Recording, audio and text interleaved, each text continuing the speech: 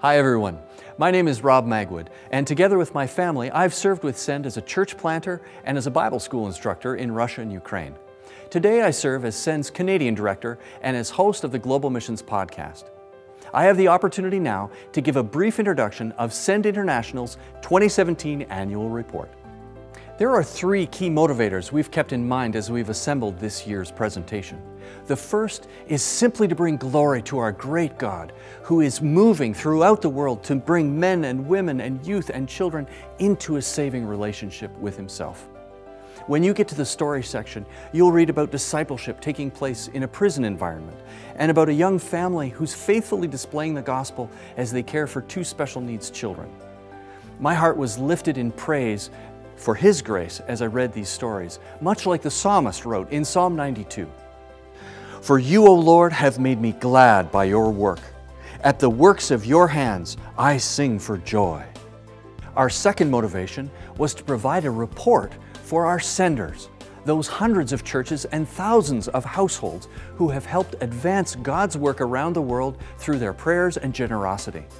Have you ever wondered whether the donations you send to charitable organizations are being used as you intend and bearing fruit? We want you to have absolute confidence that that's the case with Send International and that your contributions are being used to engage the unreached. Our third motivation was to continue stirring some important questions about global missions in this 21st century. Should we be doing short-term missions or long-term missions? Should we reach out to the refugees that have moved into our neighborhoods, or should we go to the ends of the earth? Should we even still be doing missions anymore? Both through this report, which comes out just once a year, and our website and blogs in an ongoing way, we're wrestling with these important questions. And we're seeking to encourage and equip God's people to continue engaging with the unreached in prayerful and biblical ways.